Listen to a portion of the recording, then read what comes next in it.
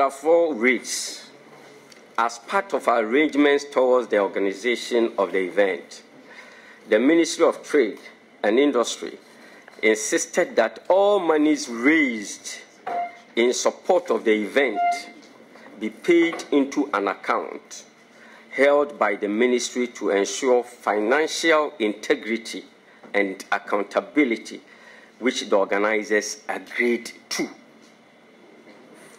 It is therefore difficult to imagine how a government institution seeking to extort monies from individuals would insist on issuing official receipts. So my question was, if it is true, as the ministry is saying here, that monies were raised by the private sector participant,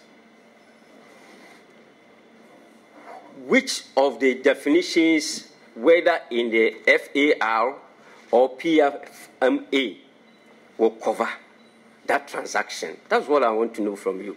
Mr. Chairman, I don't know how many times you want me to repeat that. They collected those monies. You remember the exhibit? Uh, Zamudaka. Please, answer Chairman, the you, question. Mr. Chairman. I've asked you a specific you question. asked the we question. can't allow you Mr. to Chairman, go round, round, yes, round, round. you like ask the question the way you want. I answer the way I understand your question. So you Oh. be patient with me to answer. If you are you are not satisfied, you can still ask a further decision. But if I'm answering, you are interrupting me.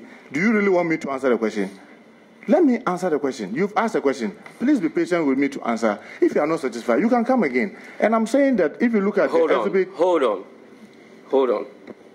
I have asked this question about three times, and you have gone around it the same way, and we can't continue the repetitions of asking questions and the same question, and then if you have the answer, you have it. If you don't have it, you don't go around.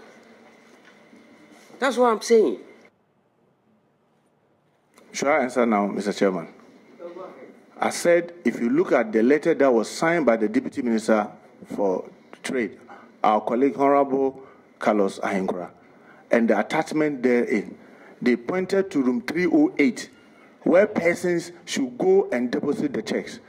Mr. Chairman, we should not create an impression as if they collected the money and after they collected the money, they were asked to go and deposit somewhere. That was why we made reference to issuing government value book, such as the GCR, to cover those monies. And we have made reference to say that if you issue those official receipts to individuals, those that money becomes public money. I don't know how you want me to explain this again. You, you can answer your questions without being abusive. Oh. Chairman, I'm by sorry. any influence. How do you want me to answer this? It means that Well, I'm sorry. I am being difficult.